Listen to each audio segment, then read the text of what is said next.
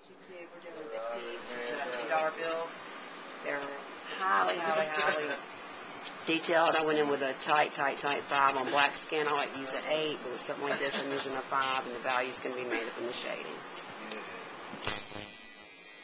Okay, we got the first one outlined. Like I said, I'm using a five. I'm gonna get every little line in there. I'm gonna start the second one.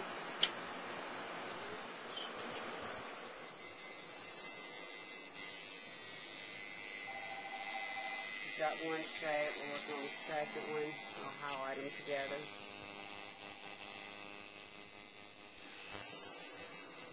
Um, completely white highlights. They might work, they might not. Give it a shot. We'll probably know in the morning.